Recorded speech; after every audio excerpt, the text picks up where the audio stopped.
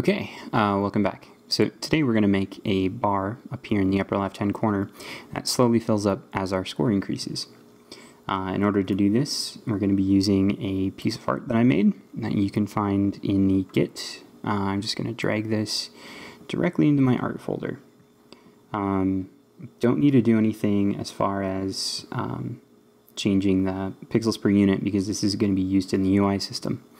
So I'm going to pop over to my scene here, going to take a look at my top UI, and as a child of my image up here, I'm going to make a new UI image, and I'm going to drag this over to be in this area. I'm going to change it to be the score bar as the source image, and automatically it does that. Uh, I want to preserve my aspect, which is going to make sure it stays this kind of um, rectangular thing, I guess, whatever you would call it. Um, size this down to be about the size I want. It's going to overflow a little bit, but that's okay. So, there we go. That's fine. Alright, cool. Um, yeah, that doesn't look too bad. I'm going to change my anchors for this to be on the left side of its container. And here's where the magic comes in. So image type, I'm going to change from being simple to being filled. And the fill method is going to be horizontal. And fill origin is the left. That means where it would have its zero point. Right now its fill amount is 1, but I can see as I pull it down, this bar kind of fills up. And I like the way this looks. Um, you can achieve a similar effect by using a slider, but I kind of like the way this looks so that it's not always a smaller version of itself. Um, and so that as soon as I get to zero, it does that. You can do the same thing with a slider, but it takes some doing. Sliders are finicky. Um, so what I want to do here is I'm going to make a few different um, references. My first reference is going to be in the board script. So I'm going to open up my board script and each level is going to have a, a high score goal or at least a score goal. Um, I'm going to uh, create that inside my global variables here. Now, a lot of you guys have been wondering about making multiple boards. We're, we're getting to that, I promise you. Um, that'll probably come sometime next week. I'll show you how to use scriptable, objects to create a level select screen where each level is different. Um, but for now, we're going to do everything in here in this one level, um, but I promise it's coming. Anyway, so here, I want to create uh, a little array, which is going to be the score goals. So these are going to be public int array score goals. And I'm going to save this. I'm going to pop back into Unity here. And I'm going to find my board. Me. Here we go. Oh, did I do something wrong? Oh no, it's still compiling. Okay. So there we go. There are my score goals. So I'm going to say goal number one. I'm going to say I have three score goals because usually it's three stars. Goal number one is 2,000 points. Goal number two is 4,000 points. And I'll say goal number three is 5,000 points. Um, okay, cool. So now the next thing I need to do is go into my scripts and find my score manager script and open that one up. So now in here, I need to have a couple things. First, I need to have a reference to the board. So I'm going to do private board board. And then in my start method, I'm going to complete this reference. Board equals find object of type board.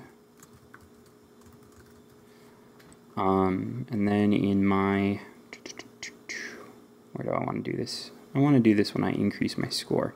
So I'm going to have to create a reference to the image of the sprite as well. So if we take a look here, my image is composed of this image script. So, oops, wrong thing.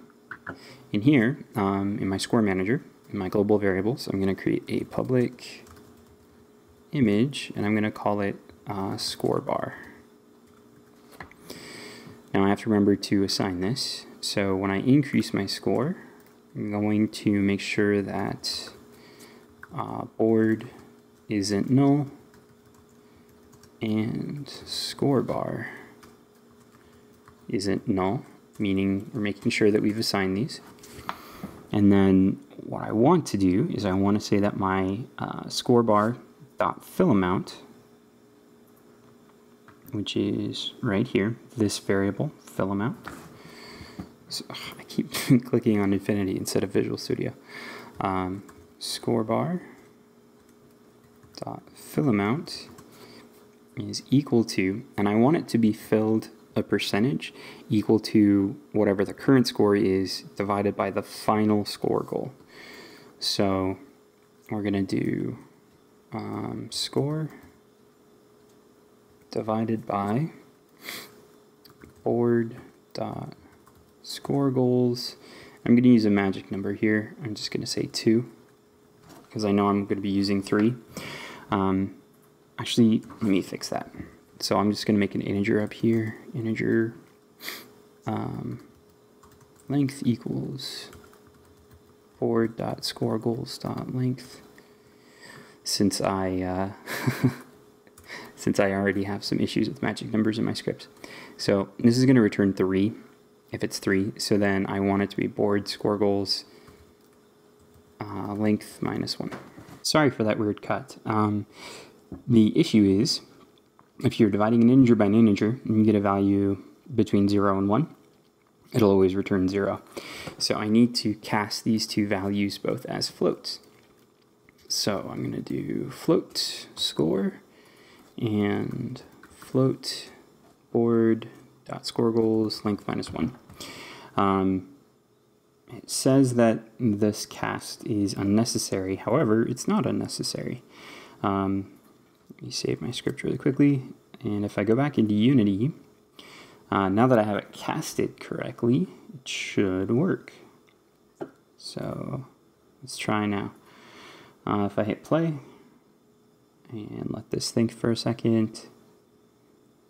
Uh, okay, cool. So I'm gonna flip flop those two places. You can see it's got a tiny bit of fill there. And there we go. Um, this also is checking the score goals live.